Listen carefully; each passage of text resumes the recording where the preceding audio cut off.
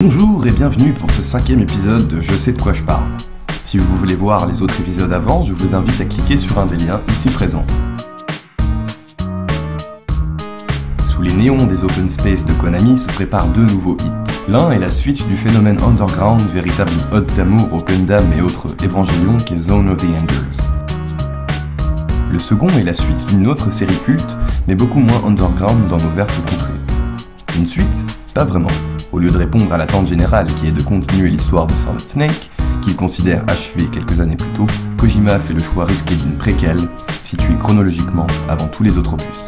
Comme le dit la légende, suite à une rencontre avec le compositeur principal de Sons of Liberty, M.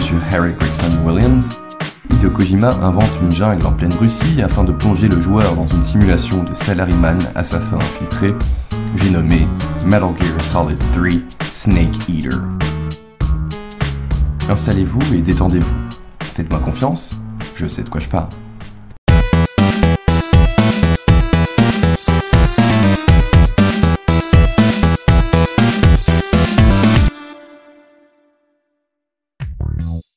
Le changement radical de décor par rapport aux deux précédents opus ne se fait pas au détriment de la qualité. Bien au contraire, Kojima voit une fois de plus les choses en grand. Un peu trop grand peut-être. En effet, le hardware vieillissant de la PlayStation 2 peine à être à la hauteur de la folie du game designer et plusieurs idées passent à la trappe. Par exemple, comme il est un fan non dissimulé de Grand Theft Auto, Hideo San veut que son nouveau bébé émule le principe de la série d'un monde gigantesque explorable de bout en bout sans temps de chargement. Mais face au challenge, la série garde son séparément en zones distinctes. L'air de jeu reste cependant gargantuesque et le gameplay, enrichi de nouvelles mécaniques, fait de cette suite une réussite même pour les standards actuels, plus de 10 ans après sa sortie. Je vous conseille quand même de ne tester que les versions avec la caméra 3D, sous peine d'être pris de rage incontrôlable en European Extreme.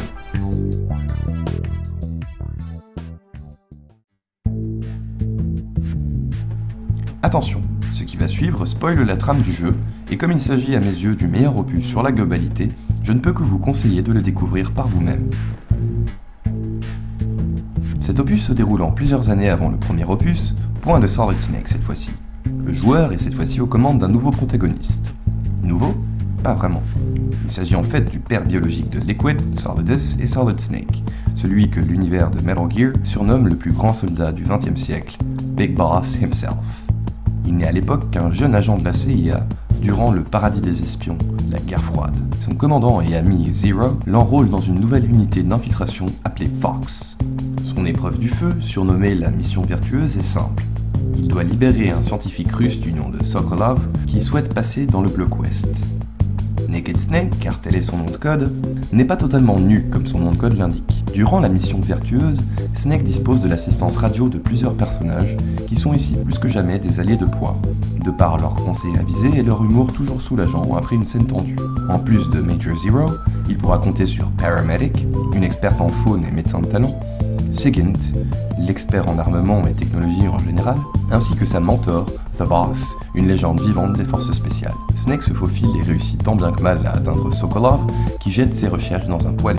Il lui explique qu'il est sous protection car un fou nommé Volgan tente de voler son invention, le Shackleheart. Snake et lui tentent de sortir de sa cachette, mais ils se font embusquer par la garde de Sokolov. Un revirement de situation fait que la garde se fait embusquer elle-même par une équipe du GRU. Le commandant de cette unité est un jeune homme qui porte le nom de code Ocelot.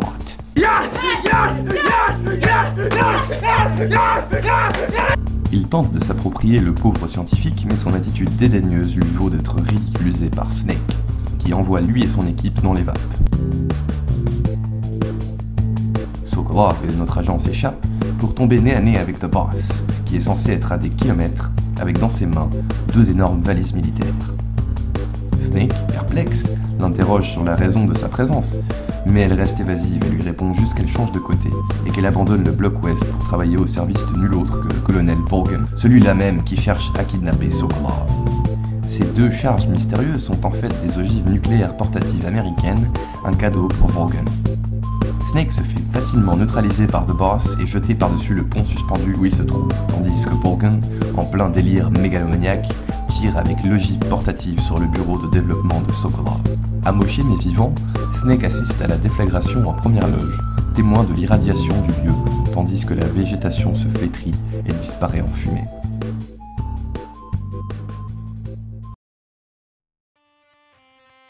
Plusieurs mois se sont écoulés et Snake se remet à peine de ses blessures qu'il est, lui, ainsi que le reste de son équipe, accusé de trahison par leur gouvernement. Ils n'ont pas pu couvrir l'affaire des forces soviétiques due à l'acte inattendu de Volgin. Pour prouver leur innocence, Snake va devoir retourner en Russie, éliminer Volgin, détruire ses recherches sur le projet de Sokolov, ainsi qu'assassiner The Boss. Sinon, ils seront tous accusés de trahison et envoyés au peloton d'exécution. Devant l'absence de choix, Snake embarque alors et retourne en Russie, non loin du lieu de la mission vertueuse. Il est censé aller à un rendez-vous avec son contact infiltré dont le nom de code est Adam. Mais une fois sur les lieux, il fait face à une femme en moto au visage dissimulé qui prétend porter le nom de code Iva.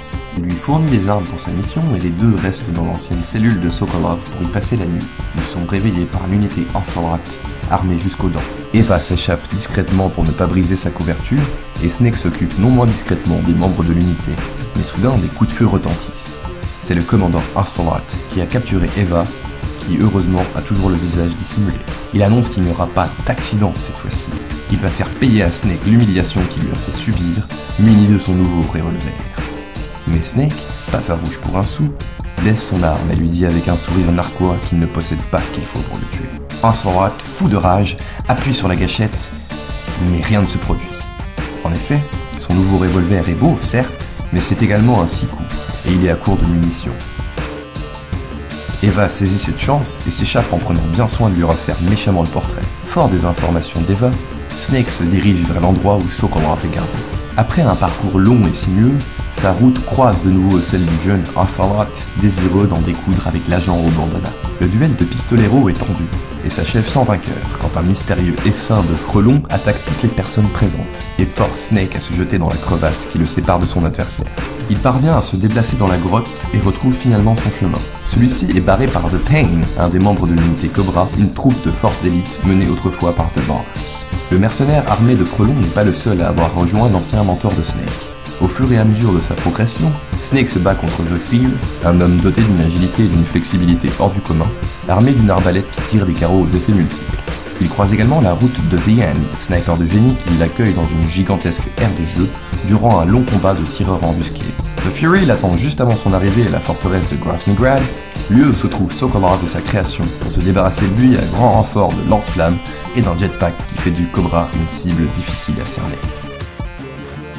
Snake arrive tant bien que mal à se défaire de ses adversaires de taille et fait enfin son entrée à Grasnygrad. qui s'introduit déguisé en Major Rykov, un des hommes favoris de Vorgen, grâce au conseil avisé d'Eva, mais sa mission est compromise par l'arrivée du colonel qui découvre la supercherie de manière euh, assez spéciale. Plusieurs heures de la scène de torture la plus contre-productive de tous les temps plus tard, Answer me. They're after my legacy, aren't they? Your real target is the Philosopher's Legacy, isn't it? Philosopher's Legacy is safely in my possession, in the underground vault of Groznygrad. et Snake se retrouve avec un œil en moins, mais avec beaucoup plus d'informations. Il se retrouve ensuite emprisonné dans une cellule dont il s'échappe ingénieusement. Il s'accommode de la perte de son œil assez difficilement, avec Ocelot à ses trousses, ce qui le force à prendre congé dans la douleur. Durant un court instant, Snake se retrouve entre la vie et la mort, ce qui permet à The Sorrow, dernier membre de la troupe des Cobras, de rentrer en contact avec notre héros en lui faisant vivre la tristesse de ses victimes de combat. Snake s'échappe de ce monde de cauchemar et entre une nouvelle fois en contact avec Eva. Une fois en pleine possession de ses moyens, Snake s'infiltre une fois de plus dans la forteresse imprenable et place des charges de C3 sur des points stratégiques du dépôt où est caché le Shagorad. Mais alors que le plan semble sans accroc, il se fait embusquer par la troupe des antagonistes au grand complet, avec les cobras en moins bien évidemment. The Boss le soumet à sa technique implacable à nouveau, mais ne délivre pas le coup de grâce. C'est à Volgan, le chef de l'opération, de s'en occuper. Fight like a warrior, Volgan. Snake arrive tant bien que mal à se débarrasser du russe électrique et s'échappe de l'entrepôt quelques secondes avant la détonation de la première charge. Eva l'attend dehors avec un message de Barbaras. Elle l'attend au lac au bout de cette base, afin qu'il termine sa dernière mission, l'assassiner. Mais Vorgan n'a pas dit son dernier mot et les poursuit à bord du Shagorad qui est resté intact malgré la tentative de sabotage. Après une course et un combat épique, Snake et Eva se retrouvent enfin au lac où est posé l'avion qui va les amener loin d'ici. Snake, lui, ne regarde que le champ de fleurs blanches à côté, où son mentor l'attend à coup sûr. Il se dirige vers celui-ci et il se retrouve enfin face à The Boss. Elle lui raconte sa vie dans les plus intimes détails et sous-entend une vérité que Snake ne comprend pas. Elle l'a formé, donné une arme pour se défendre. Maintenant, elle ne peut plus rien lui donner. C'est à lui de venir lui prendre sa vie. Le combat se termine et Snake délivre le coup de grâce dans un moment chargé en émotions. Eva et notre agent s'enfuient alors tous les deux et finissent ensemble sur le sol d'un appartement. Mais au réveil de Snake, Eva a disparu, laissant comme seule trace de son passage un message pour notre agent. Boss lui a avoué qu'elle travaillait pour le compte du gouvernement américain qui voulait s'accaparer discrètement la fortune de Vorgen. Mais suite à l'échec de la mission vertueuse, ils avaient besoin d'un bouc émissaire et la légendaire mercenaire s'est sacrifiée pour empêcher un acte de guerre de se produire. The malgré la marque qu'elle laissera dans l'histoire en tant que traître à sa nation, est une véritable héroïne qui a su rester vraie à sa vision. Mais tout ce monde qui l'acclame et qui le traite en héros ne fait que lui rappeler que tout ceci n'est qu'une farce. Il a tué de sang-froid la femme qui était comme une mère pour lui. Alors qu'il salue la tombe de Boss, une unique larme coule le long de sa joue.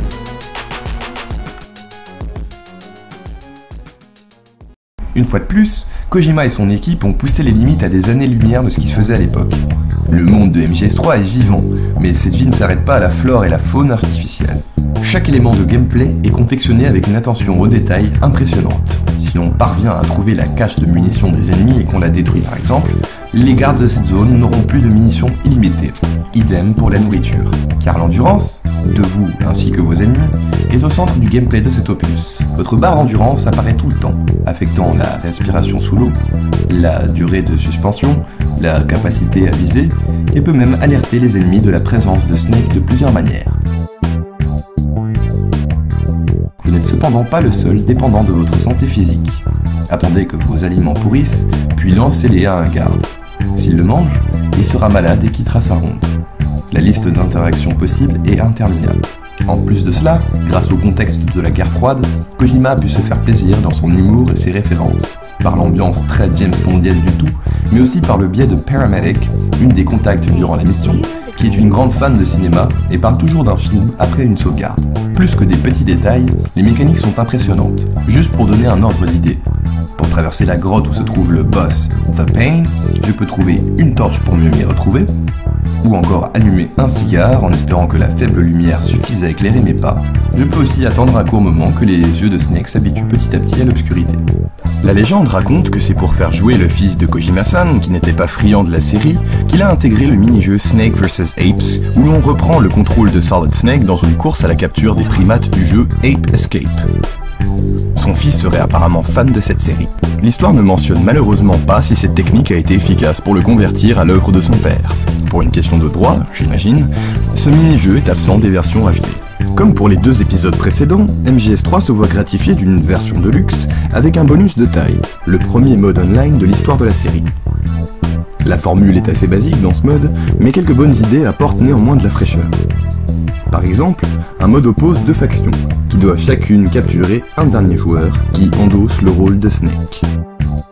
Malgré ces arguments de taille, la critique reste la même. L'incapacité de Kojima de raccourcir ses dialogues et monologues est toujours sujet à des railleries. Le jeu se vend tout de même très bien, mais les fans se sentent bernés. Pas de Battle Gear Et qu'est devenu Solid Snake après Sons of Liberty? Rejoignez-nous la prochaine fois où nous explorerons la suite directe de MGS2, Guns of the Patriots. Merci d'avoir suivi l'émission, à bientôt